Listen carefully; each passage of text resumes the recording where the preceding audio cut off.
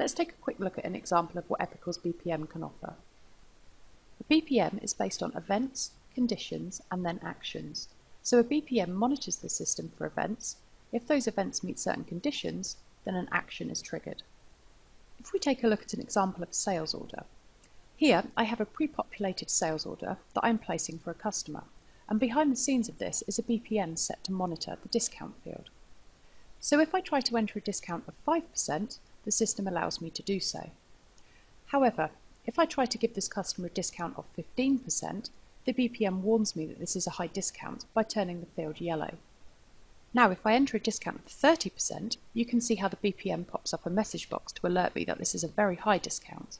If I go ahead and OK this, and then save the sales order, the BPM can then pop up a data request form asking for further information.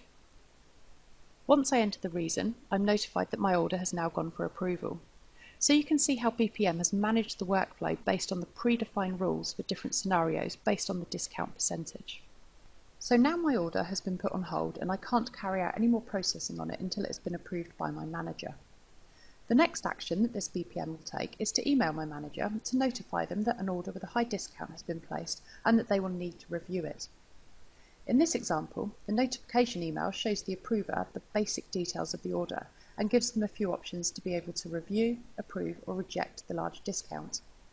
My manager may be out of the office and receives this email on their smartphone or tablet. In this case, they would be able to click on the link within the email and review the order using their Epicor Web Access login.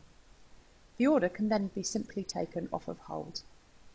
Alternatively, they may decide to approve the order without reviewing it, and in this case, they can just reply to the notification email and type the word approved. Epicor can monitor the email inbox which that reply goes into, and then based on the keywords within the body of the email, it can act accordingly. So now, if we go back to the sales order and refresh the screen, you can see how the order has now been taken off of hold, and we can now carry on with its processing and it be shipped to the customer.